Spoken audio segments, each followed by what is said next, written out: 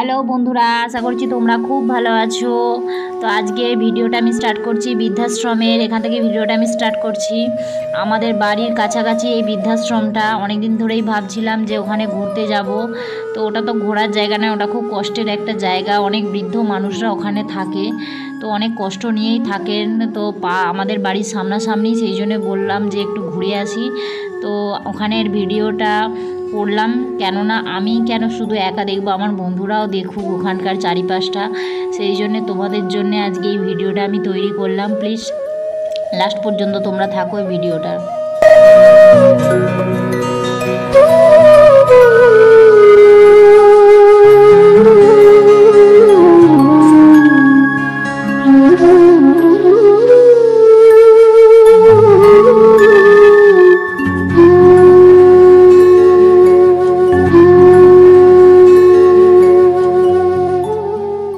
Thank you.